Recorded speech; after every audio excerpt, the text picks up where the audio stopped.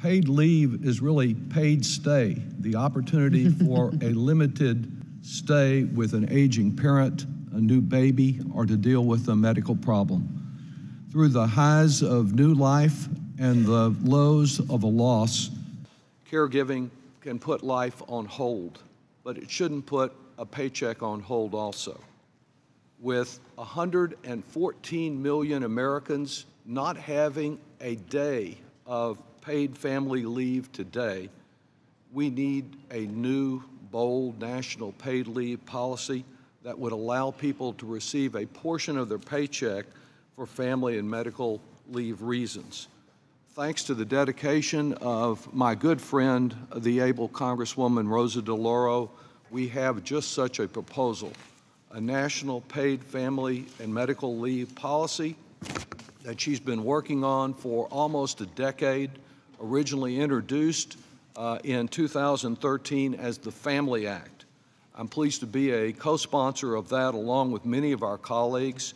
Uh, it would recognize, it was actually reintroduced this year on the anniversary of the Family and Medical Leave Act, that while that's very valuable uh, protection now, that three months of no pay is not a formula for success in dealing with these issues and that we need a program that does provide some compensation to those who have the need for family and medical leave. Indeed, I think our existing legal structure kind of takes us back to the Mad Men era.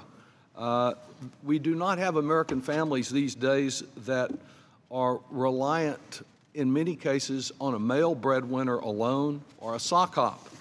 Women's wages today uh, provide uh, really the key supporting wages for many families. Uh, about 80% of African American mothers, about half of Latino, Latina mothers, and 46% of white mothers are key family breadwinners.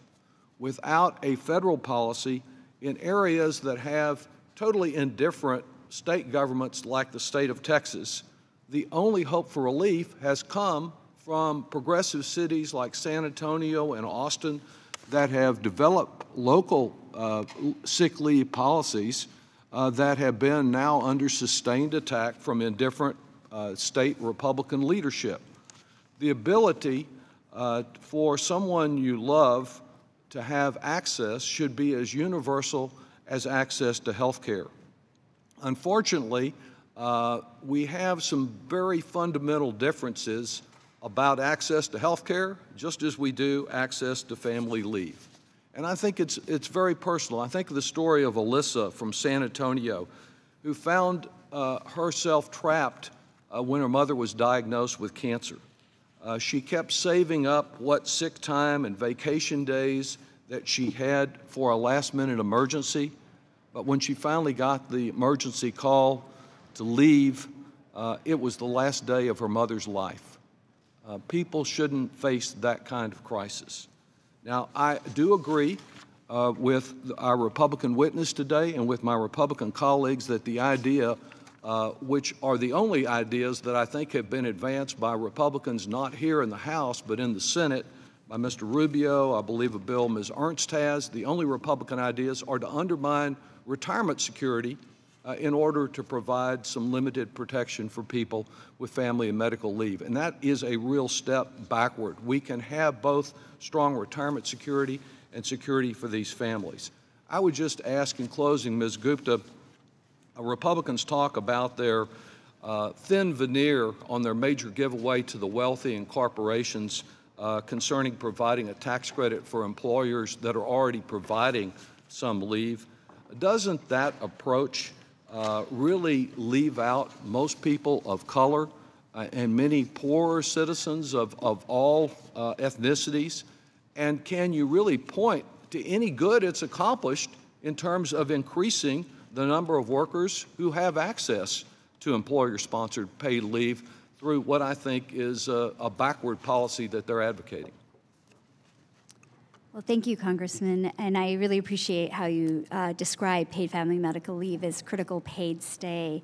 Um, you're absolutely correct. Uh, you know, what we see is that um, based on the numbers on, based on numbers around access, that the majority of private sector workers, again, 84%, have no access to paid family leave. And again, that's worse for, um, for the lowest wage workers. Uh, this has tremendous impacts on workers of color. We know that 60 uh, percent of African American, uh, 62% of Black, and 73% of Latino workers um, are ineligible or cannot afford to take unpaid leave. So, having um, just relying on tax policies or relying on other incentives that are focused on businesses it's just not enough, or just state strategies. We leave huge gaps in access um, by economic um, by economic level, um, by race, by ethnicity, and by region. And really, the only thing we have that is going to help low-wage workers, especially workers of color, is a universal, comprehensive, gentlelady. inclusive Thank paid you. family medical leave. Thank you so much. Thank the gentlelady. Let me recognize the gentleman from Nebraska, Mr. Smith. Thank you, Mr. Chairman, and thank you to our uh, panel of witnesses uh, today. Uh, I think this is an important topic that we have a discussion about. Uh, Let me first say that I believe uh, paid family leave does have broad support, and I I can't